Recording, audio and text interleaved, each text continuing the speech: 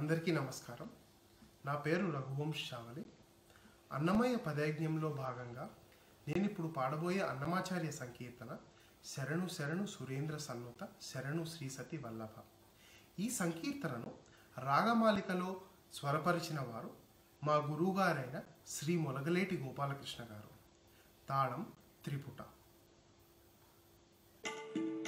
शरणु शरणु सुरेन्द्र सन्त शरण सति वल्लभा।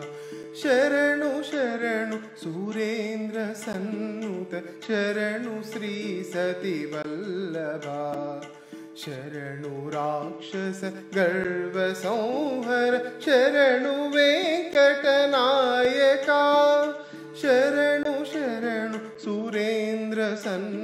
शरणश्री सती वल्लभा शरणु राक्षसगर्वयका शरणु वेङ्कटनायका शरणु सुरेन्द्र सन्नत शरणुश्री सती वल्लभा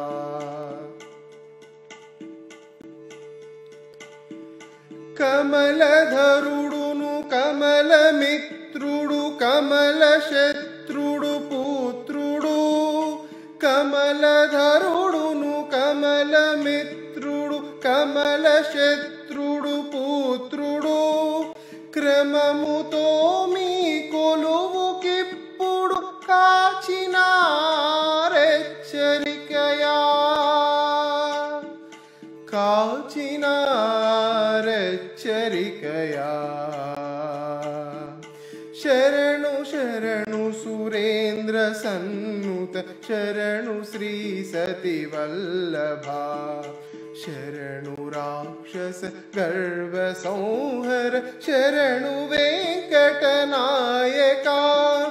शरणु शरणु सुरेन्द्र सन्नुत शरणुश्री सति वल्लभा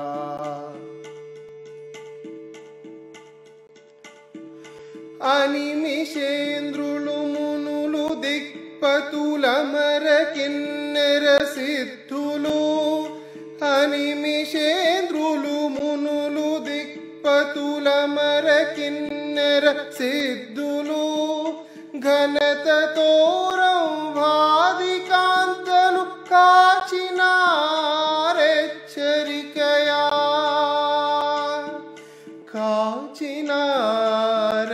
चरि गया।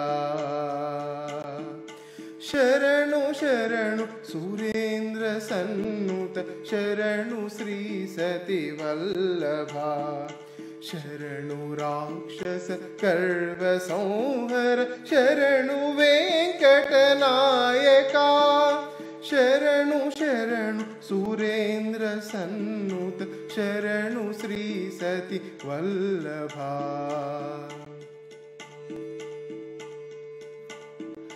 ఎన్నగల ప్రహ్లాద ముఖ్యులు నిన్ను గొలువగవచ్చిరి ఎన్నగల ప్రహ్లాద ముఖ్యులు నిన్ను కొలువగవచ్చిరి విన్నపము వినవయ్య తిరుపతి వెంకటాచలనాయక. వెంకటాచలనాయక. शरणु शरणु सुरेन्द्र सन्नुत शरणुश्री सती वल्लभा शरणु राक्षस गर्व संहर शरणु वेङ्कटनायका शरणु शरणु सुरेन्द्र सन्नुत शरणुश्री सति वल्लभा शरणु श्री सति वल्लभा शरणु श्री सति वल्लभा